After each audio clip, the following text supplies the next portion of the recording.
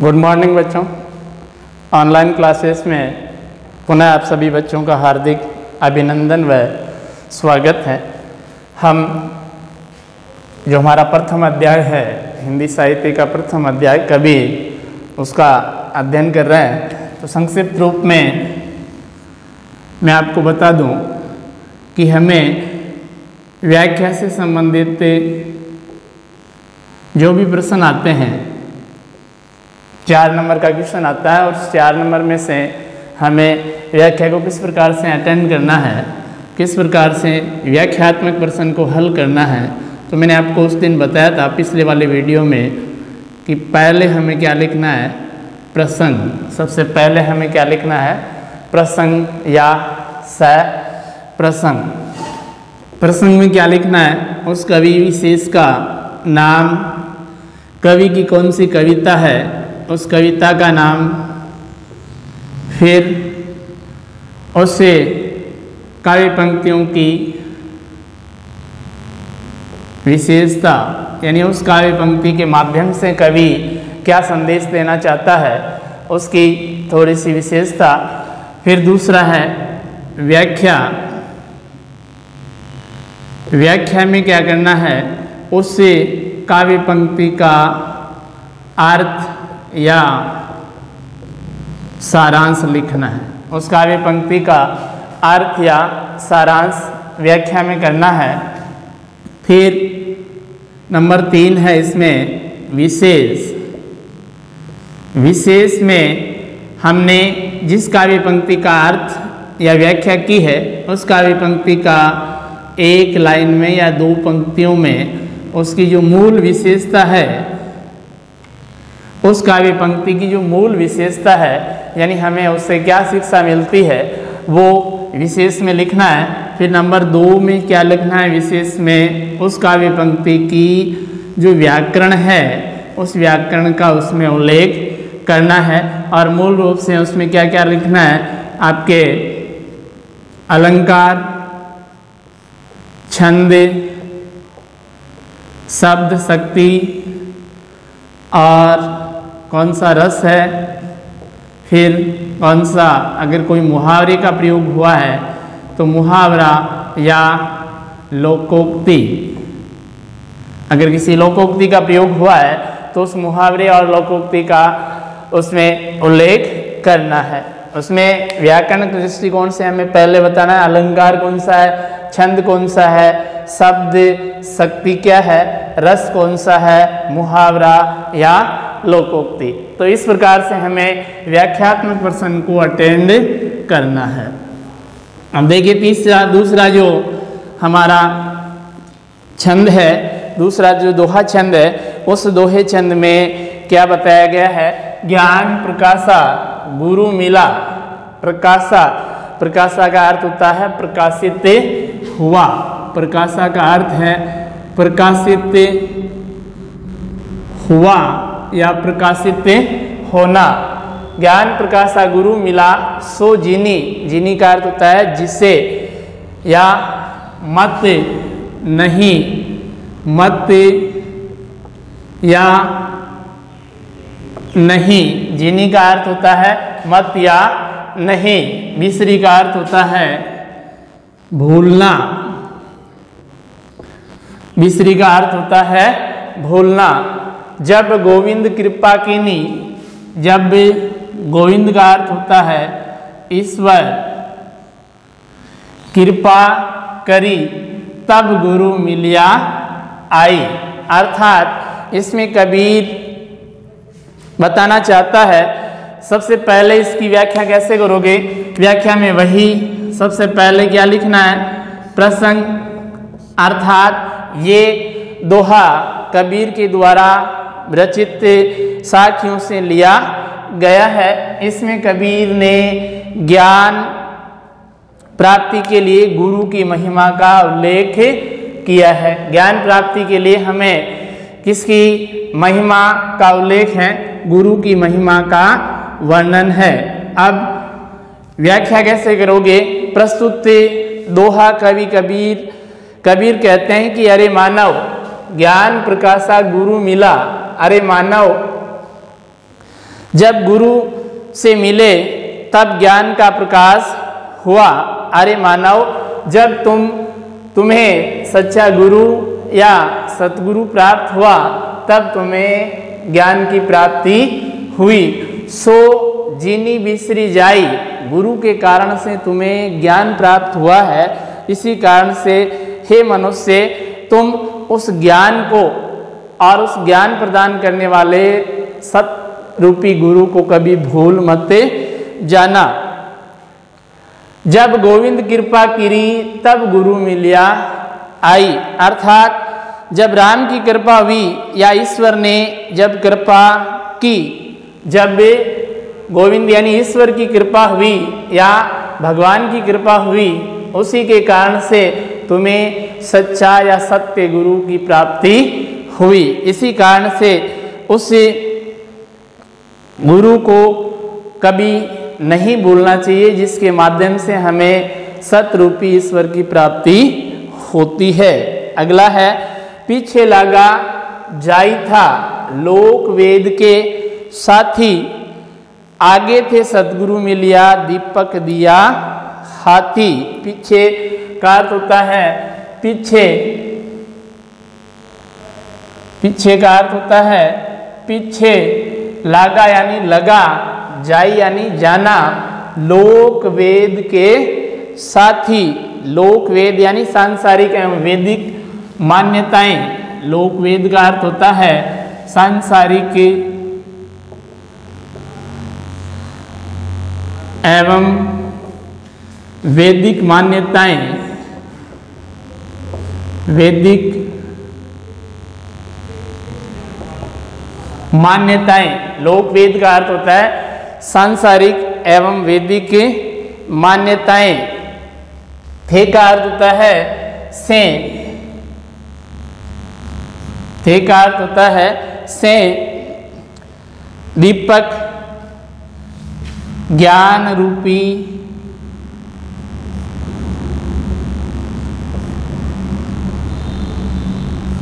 दीपक ज्ञान रूपी दीपक।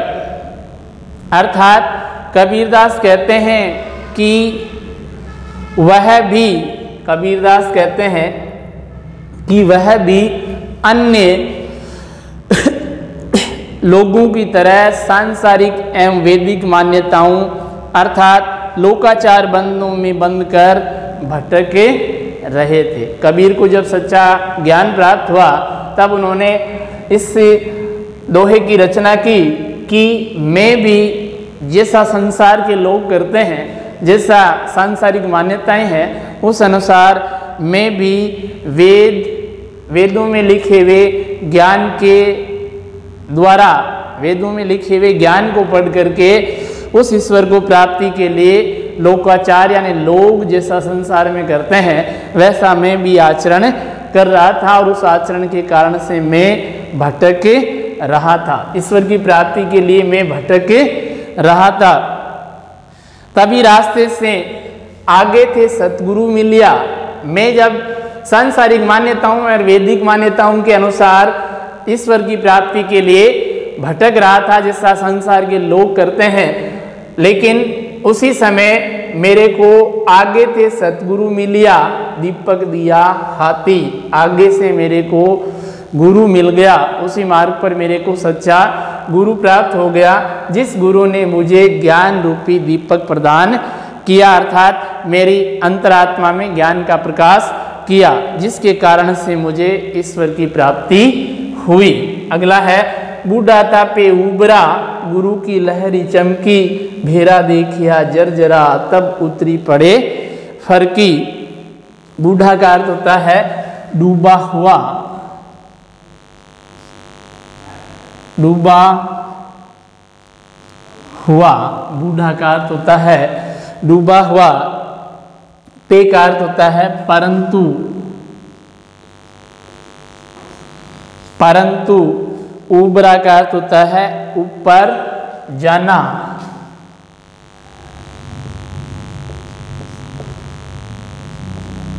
ऊपर जाना, गुरु की लहरी चमकी, लहरी का अर्थ होता है लहर या ज्ञान।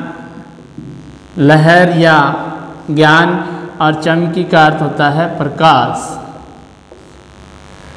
भेरा देखिया जर्जरा भेरा का अर्थ होता है बेड़ा।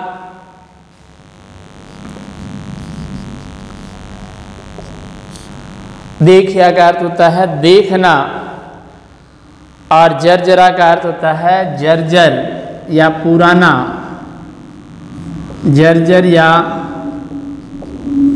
पुराना, उत्तरी, पड़े, फरकी। फरकी का अर्थ होता है शीघ्रता। फरकी का अर्थ होता है शीघ्रता। बूढ़ा तापे उबरा, गुरु की लहरी चमकी, भेरा देखिया जर्जरा तब उतरी पड़े फरकी। अर्थात कबीर कहते हैं कि मैं सांसारिक विषय वासनाओं रूपी, सांसारिक की विषय वासना होती है। आपके तृष्णा, इच्छा, लालसा सांसारिक मनोविकार होते हैं। सांसारिक मनोविकारों में कबीर कहते हैं कि मैं भटक गया था। सांसारिक जो विषय वासनाएँ होती है, उन विषय वासनाओं रूपी समुद्र में डूब रहा था। डूब रहा था तभी। किंतु गुरु की ज्ञान रूपी लहर से सावधान होकर उबर गया। मैं सांसारिक विषय वासनाओं में डूब रहा था, लेकिन गुरु की ज्ञान रूपी लहर से सावधान होकर के डूबने से बचे गया, अर्थात उबर गया, अर्थात ऊपर आ गया। गुरु द्वारा दिए गए ज्ञान के प्रकाश से, गुरु द्वारा दिए गए ज्ञान के प्रकाश से सांसारिक मायामोह व अज्ञान रूपी बेड़े की जर्जरता। अज्ञान रूपी बेड़े की जर्जरता।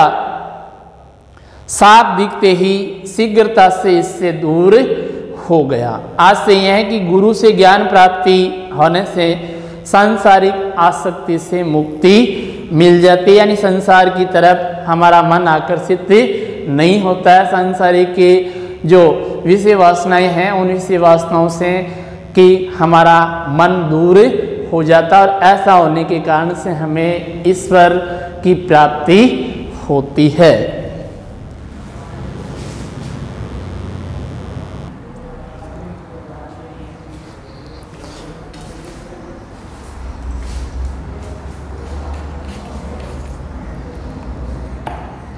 देखिए, अगला हमारा जो दुआ है कबीर चित्त चित्त का अर्थ होता है हृदय चित्त का अर्थ होता है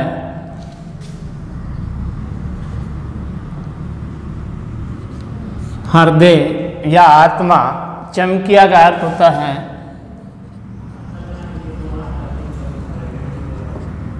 चमकना या चमकीला, चहू का अर्थ होता है, चारों ओर दिस का अर्थ होता है। दिशा। दिस का अर्थ होता है, दिशा। लागी का अर्थ होता है लगना।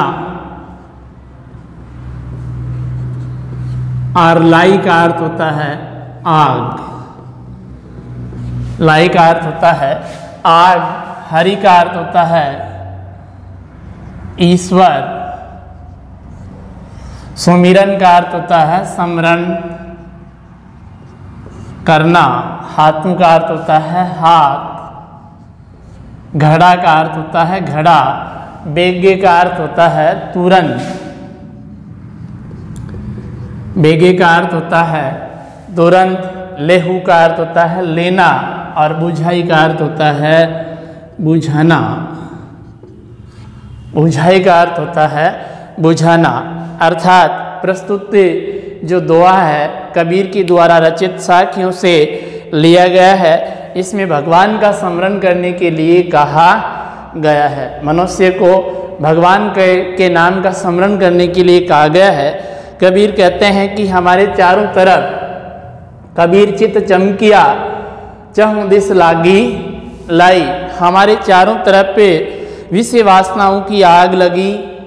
देखकर हमारे चारों तरफ़ विषय वासनाओं की आग लगी देखकर मनुष्य का हृदय चमक गया। विषय वासनाओं की आग लगी देख करके मनुष्य का जो हृदय है, वो चमक गया।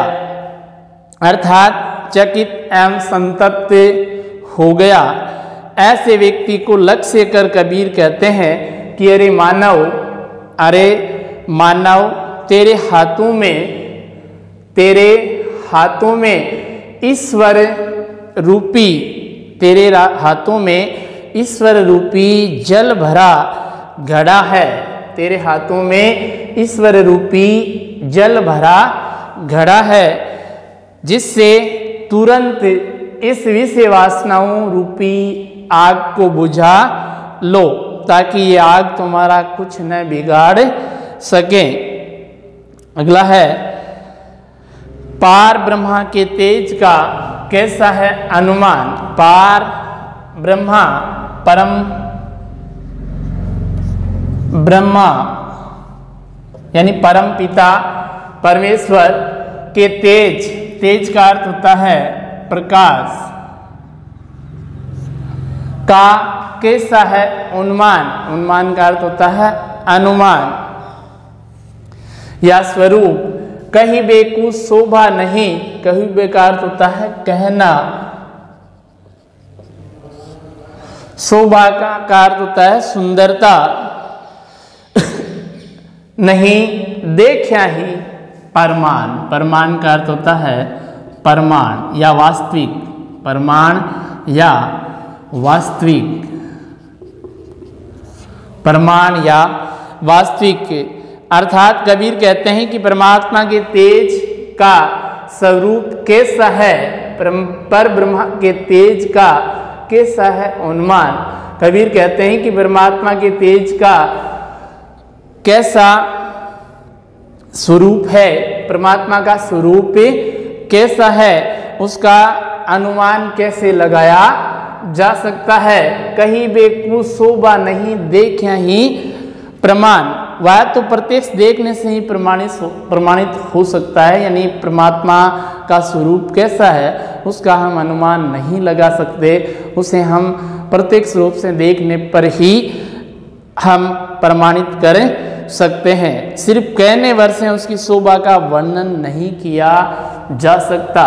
कहीं भी को शोभा नहीं, केवल कहने भर से ही उसकी सुंदरता और छवि का वर्णन नहीं किया जा सकता। यह वह तो केवल आत्मा अनुभूति का ही विषय है। वह तो केवल आत्मा अनुभूति का ही विषय हम कह सकते हैं कि ईश्वर ऐसा हो सकता है, ऐसा हो सकता है। जब तक हम उसे वास्तविक नहीं देख सकते, देख लेते, तब तक हम ऐसा प्रमाणित नहीं कर सकते कि उसका स्वरूप कैसा है। हम केवल अनुमान ही लगा सकते हैं। परंतु परमात्मा का परिचय तो अप्रोक्ष एवं अनुभूति से ही प्राप्त किया जा सकता है। अगला है चिंता। तो हरि नाम की चिंता का अर्थ होता है चिंतन। चिंता का अर्थ होता है चिंतन। हरि का अर्थ होता है ईश्वर। नाम का अर्थ होता है नाम। कबीर कहते हैं कि मुझे केवल ईश्वर के नाम की ही चिंता है कि मैं हमेशा ईश्वर के नाम का ही स्मरण करता रहूँ। और न चितवे दास, जो भगवान का प्रत्यक्ष रूप से, प्रत्यक्ष रूप से जो सच्चा दास होता है, जो सच्चा भक्त होता है, वह और किसी के नाम का स्मरण नहीं करता है। जो व्यक्ति ईश्वर का स्मरण किए बिना ही अन्य सांसारिक विषयों का चिंतन करता है। जे जे कछु चित्वे राम बिन सोई काल की पास, जो भगवान के नाम का स्मरण किए बिना अन्य किसी के नाम का स्मरण करता है, वह व्यक्ति अंततः काल का ग्रास बनता है या काल के बंधन में पड़े जाता है।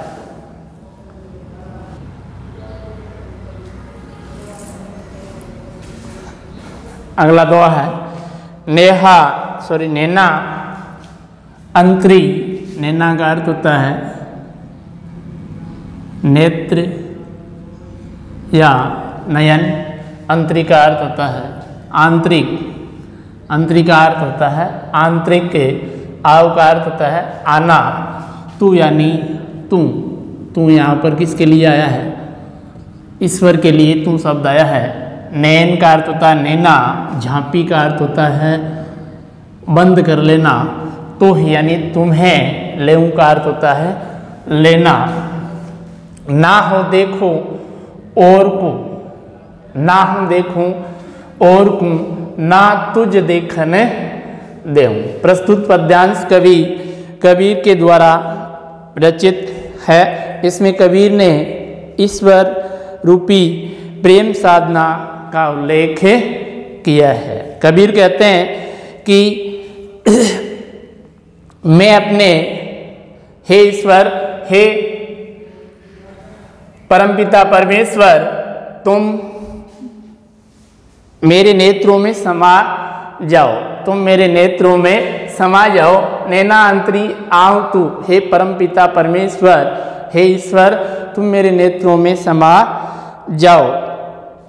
जिनसे नैन झांपी तो ही ले मैं उसके दौरान, उसके बाद अपनी आँखों को, अर्थात अपने नेत्रों को बंद कर लूँगा, ताकि ना हो देखूँ और को ताकि मैं ना तो किसी और को देख सकूँ, ना तुझ देखने दूँ और ना ही तुम्हें किसी अन्य को देखने दूँ। अगला है, बहुत दिनन की ज्योति बाट दुमारी राम। दिनन का अर्थ होता है दिन। ज्योति का अर्थ होता है रहा, देखना या प्रतीक्षा करना। ज्योति का अर्थ होता है राह, देखना या प्रतीक्षा करना। बाट का अर्थ होता है मार्ग या रास्ता। मार्ग या रास्ता, तुम्हारी का अर्थ होता है, तुम्हारी और राम का अर्थ होता है, ईश्वर या परम पिता परमेश्वर। जीव तर से तुझ बिन। जीव का अर्थ होता है, जीव या आत्मा। तर से का अर्थ होता है तड़फना तुझ, यानी तुम्हारे मिलन का अर्थ होता है मिलना, मन नहीं, विश्राम। विश्राम का अर्थ होता है आराम या शांति। कबीर कहते हैं कि, हे प्रियतम परमात्मा, हे प्रियतम परमात्मा, मेरी आत्मा, तुमसे मिलने के लिए बहुत दिनों से तुम्हारा रास्ता देख रही है। तुम्हारे आगमन की प्रतीक्षा कर रही है। जीव तर से तुझ मिलन को मेरी आत्मा है या मेरा हृदय है, तुमसे मिलने के लिए तरस रहा है और तुम्हारे विरह में मेरे मन को विश्राम नहीं मिल रहा है। अर्थात मैं अंतकरण से हमेशा मेरी आत्मा बेचैन रहती है। अगला है, मोरिस मोरिस का अर्थ होता है मूर्ख। संग का अर्थ होता है संगति। नय का अर्थ होता है नहीं। कीजिए यानी करना। लोहा, जल। लोहा का अर्थ होता है लोहा। जल यानी पानी। नय का अर्थ होता है नहीं। और तिराई का अर्थ होता है तैरना। कदली का अर्थ होता है केला। सीप का अर्थ होता है मोती, एक प्रकार का मोती होता है ये। भुवंग का अर्थ होता है सर्प, मुख का अर्थ होता है मुख, एक बोंद तिहु भाई भाई का अर्थ होता है भाना, या अच्छा लगना अच्छा लगना, अर्थात इसमें कबीर ने मनुष्य को कुसंगति से दूर रहने का संदेश दिया है कि मनुष्य को हमेशा बुरे लोगों की संगति से बचना चाहिए। कबीर कहते हैं कि मूर्ख व्यक्ति की संगति नहीं करनी चाहिए। आया ना मूर्ख संग न मूर्ख संग न कीजिए। अर्थात मनुष्य को कभी भी मूर्ख लोगों की संगति नहीं करनी चाहिए। लोहा जल न तिराई। जिस प्रकार से लोहे का आश्रय लेकर समुद्र पार करने की भावना वाला व्यक्ति डूब जाता है। लोहे की आस लेकर के या लोहे का सहारा लेकर के समुद्र को पार करने वाला व्यक्ति है, समुद्र में डूब जाता है, उसी प्रकार जो बुरी संगति करता है या मूर्ख व्यक्ति की संगति करता है, वो व्यक्ति अंततः संसार सागर में डूब जाता है। एक ही वर्षा की बूंदे हैं, वो अलग अलग लोगों के लिए किस प्रकार से अलग अलग प्रभाव स्थापित करती है? जैसे केला, सीप और सर्प, इन सभी के मुख में पड़ने से तीन भिन्न परिणाम होते हैं, अर्थात वर्षा की बूंद केला में गिरने से कपूर उत्पन्न होता है, सीप में गिरने से मोती उत्पन्न होता है और सर्प के मुख में गिरने से, उस बूंद के कारण से विष उत्पन्न होता है।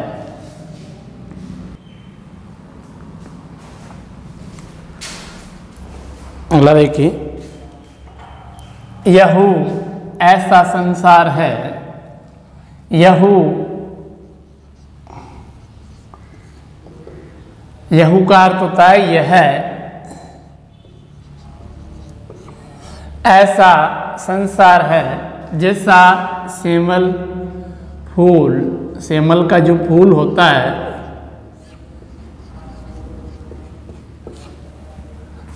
दिन दस के व्यवहार को झूठे रंग न भूली। झूठे का अर्थ होता है बनावटीपन, झूठे रंग यानी बनावटी पन, भूली का अर्थ होता है भूलना। दिन, दस के अर्थ अर्थ है क्षण, भर या अल्प समय। क्षण, भर या अल्प समय। अर्थात इसमें कबीर ने संसार की नश्वरता की ओर संकेत किया है। कबीर कहते हैं कि, अरे जीव अरे जीव, ये संसार तो सेमल के फूल के समान है। ये जो संसार है, यह ऐसा संसार है जैसा सेमल फूल। ये जो संसार है, वो सेमल के फूल के समान है। दिन दस के व्यवहार को जो देखने में बहुत सुंदर लगता है। ये जो संसार है, सेमल के फूल के समान है, जो हमें बाहरी रंग रूप से देखने पर बहुत ही सुंदर दिखाई देता है, लेकिन निरर्थक होता है। इसी तरह विषय वासनाओं से भरा हुआ जो संसार है, वो सुंदर दिखाई देता है। परंतु ये क्षण भंगुर है, ये नाशवान है, अर्थात एक दिन ये समाप्त होने वाला है। इसलिए इस संसार में दस दिन अर्थात कुछ समय के लिए विषय वासनाओं अर्थात विषय के सुख भोग को पाकर तुम परमात्मा को मत भूलो। दूसरा है, मासी गुड़ में लिपटी रही। मासी का अर्थ होता है मक्खी। गुड़ में गड़ी रही। गड़ी का अर्थ होता है गड़ना या लिपटना। लपटाई, पंस रही लपटाई। पंस का अर्थ होता है पंख। ताली पीटे, सिरी धुने। ताली पीटे, सिरी धुने। मीठे बोई, माई।